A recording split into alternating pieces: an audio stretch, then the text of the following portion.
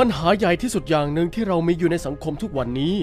นั่นคือผู้คนเริ่มมีอายุมากขึ้น ดวงตามีแนวโน้มจะเริ่มเสื่อมลงเรื่อยๆ การมองเห็นคือหนึ่งในประสาทสัมผัสที่ขาดไปไม่ได้ แต่ก็เสื่อมถอยตามความชราที่เพิ่มมากขึ้น ผมเองก็เพิ่งเข้าสู่วัย 40 ปี ผมก็เริ่มสังเกตว่าดวงตาของผมมีผลกระทบแล้ว พวกเราจำเป็นต้องบำรุงสายตาให้มาก เท่าที่จะเป็นไปได้ เพราะดวงตาเป็นอวัยวะที่สำคัญต่อชีวิตประจำวัน ซึ่งเรามักจะลืมนึกถึงเรื่องนี้ การบำรุงดวงตานั้นเป็นสิ่งที่สำคัญ ซึ่งสามารถทำได้ง่าย ๆ ด้วยสารอาหารสำคัญที่เข้าไปบำรุงได้อย่างถูกจุด ด้วยสารอาหารบางชนิด คือสารสกัดจากบิเบอรี่เบต้าแคโรทีน สารลูทีน สารอาหารที่กล่าวมานี้ได้ถูกพิสูจน์เป็นระยะเวลานานในทางวิทยาศาสตร์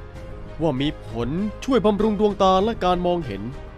สารอาหารทั้งหมดนี้เมื่อผสมเข้ากับเทคโนโลยีสารอาหารเสริมแบบเจล จะเกิดสารอาหารที่สมบูรณ์แบบที่สุดที่จะบำรุงและดูแลสุขภาพดวงตา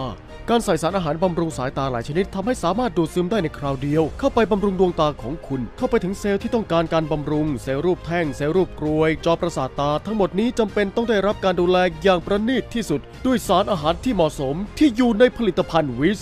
ทุกปัญหาเรื่องการมองเห็นบำรุงด้วยเจล plus วิสนะครับ